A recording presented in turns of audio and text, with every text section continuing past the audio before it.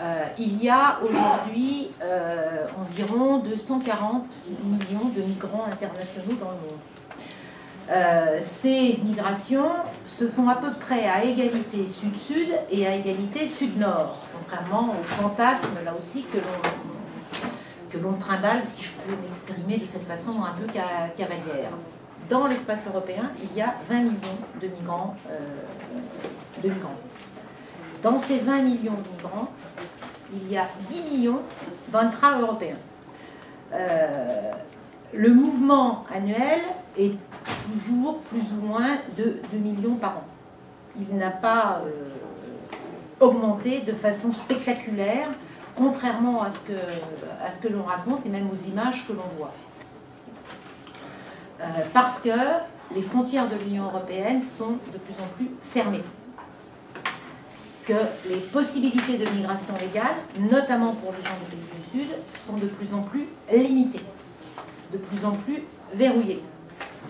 Y compris, et c'est tout le débat que nous avons actuellement, euh, pour les, personnes qui fuient soit des dictatures comme les Érythréens et les Soudanais, par exemple, pour prendre les pires, euh, soit des gens qui, fuient des situations de guerre, comme les Syriens, les Afghans ou les, euh, les Irakiens, puisque le nombre d'Irakiens en ce moment est en train de remonter. Parce la fameuse agence Frontex, euh, qui s'occupe de la surveillance des frontières de l'Union européenne, parle de personnes détectées aux frontières. J'adore le vocabulaire européen quand il parle des êtres humains.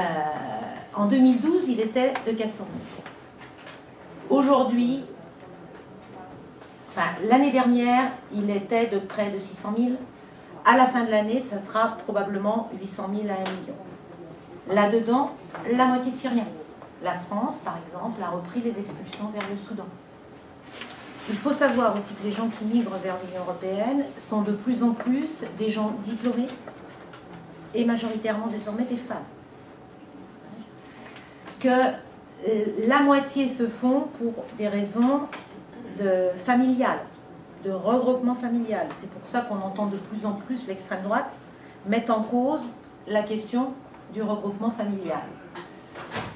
Il y a une convention internationale sur les droits des travailleurs migrants qui vise à traiter les travailleurs migrants à égalité avec les travailleurs nationaux. 80% des personnes, plus de 80% des personnes victimes de discrimination ne portent pas plainte. C'est encore plus difficile pour un non-européen. Et quand il est sans papier, il ne peut même pas le faire. Aucun, je dis bien aucun, pays de l'Union européenne n'a ratifié cette convention internationale.